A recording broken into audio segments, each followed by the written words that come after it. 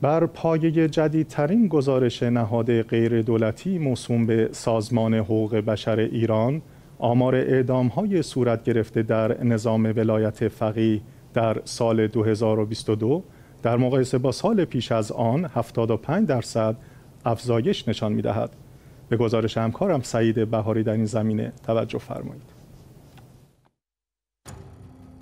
بر پایه جدیدترین گزارش سازمان مردم نهاد موسوم به سازمان حقوق بشر ایران مستقر در نروژ آمار اعدام های صورت گرفته در نظام ولایت فقیه در سال 2022 در مقایسه با سال پیش از آن 75 درصد افزایش یافته و به بالاترین تعداد سالانه از سال 2015 میلادی تا کنون رسیده است.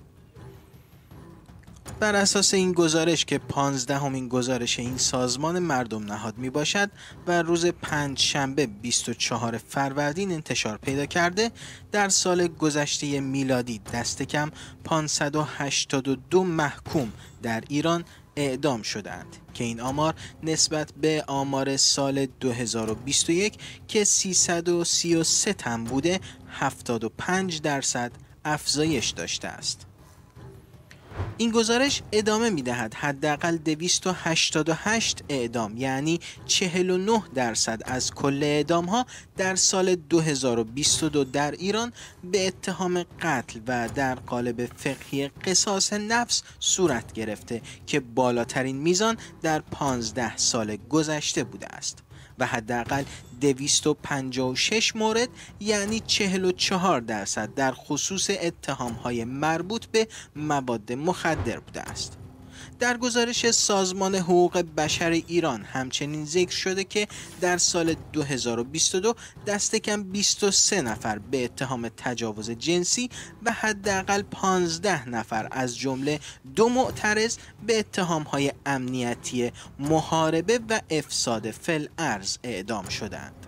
انتشار این آمارها در گزارش سالانه یک سازمان مردم نهاد مستقل در نروژ در حالی صورت می‌گیرد که مقامات و نهادهای حقوقی و رسانه های حکومتی از اعلام اخبار رسمی و آمار کلی اعدام ها خودداری می کنند.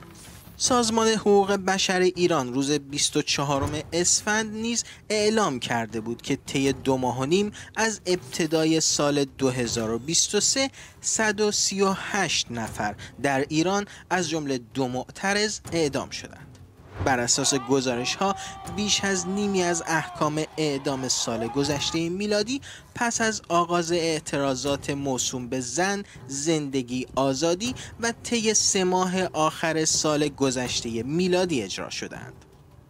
آن هم در حالی که در بسیاری از مراحل قضایی از بازداشت و بازجویی و بازپرسی گرفته تا صدور احکام بدوی و تجدید نظر محکومان اعدام های سیاسی به گفته دکتر محسن برهانی استاد حقوق دانشگاه تهران اصول اولیه دادرسی و حقوق متهمان رعایت نمی شود. مسئله ای که مورد انتقاد مراجع و علمای مستقل شیعه است.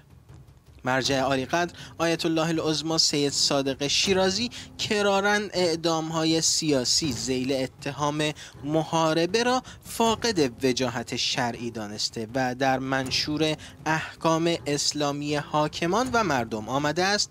اطلاق کلمه محارب بر کسانی که تنها علیه دولت تظاهرات کردند و یا شیوه و روش حکومتداری حاکمان را نمیپسندند جایز نیست. علاوه بر آن اجرای حکم اعدام علیه محارب نیز تنها از ویژگی های امام معصوم می باشد و نه هیچ کس دیگر. سعید بهاری اخبار شیه